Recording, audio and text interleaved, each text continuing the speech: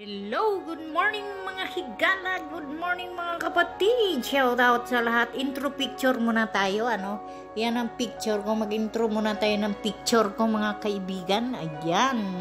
Pag-usapan natin si Lula Damiana. So sa hindi pa nakapag-subscribe sa akin channel, please subscribe my channel. And don't forget to click the red button and click the bell para ma-notify kayo sa aking sunod na video. Latest update tayo kay Lula Damiana. Itong mga larawang ito ay mga reaction video lamang. Credit ko kay Rimondo ito. Thank you so much. Ayan. Ayan, mga kaibigan. Latest update tayo kay Lula Damiana. Ayan. Ayan si Lula Damiana, di ba hinanap niyo yung upuan na bigay ni the manager? Ayan, nandyan lang sa bahay ni Lula Damiana. So, hindi totoo na nawala yun sa bahay ni Lula Damiana.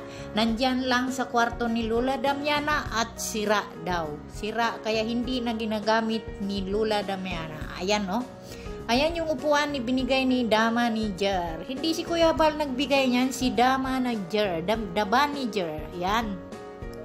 So, yun na nga si Lula kumakain ng almusal. Almusal ba? Kasi tinapay kasi ang kinain niya. Ano? So, ayan, nagsasalita na naman si Lula. Alam mo na si Lula, ganyan talaga attitude niya. Nagsasalita habang kumakain. Ayan.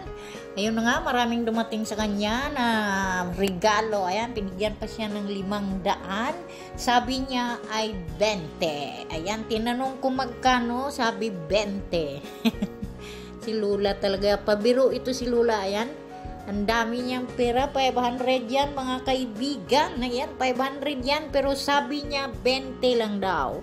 So sa hindi pa nakapag-subscribe dyan sa mga channel namin ni ni Bal Santos Matubang, Kalinga Prab, Rimondo, Bakud, Bakuda, asin, uh, Bakuda Vlogs, ayan, Dakuba Vlog, Dakuba ba? Dakuba Vlogs, ayan, i-subscribe niyo guys. Ayan, wala na tayong good vibes lang tayo mga kaibigan. Walang masamang loob. Good vibes, good vibe lang tayo. Ayan, tulong-tulong lang mga kaibigan. So, nandyan lang yung upuan. So, topic natin si Lula Damiana tungkol doon sa upuan. Ayan. Yun nga, nandyan lang ang upuan sa bahay ni Lula Damiana. Yung inupuan niya yan, bago yan, bigay yata yan ng isang sponsor. Tapos yung inupuan niya kanina, Kay Kuya Bal yun, di ba? Ano set yun? Uh, dalawang ganon, tapos isang mahabang set. Ayan. Sopa set. Ayan.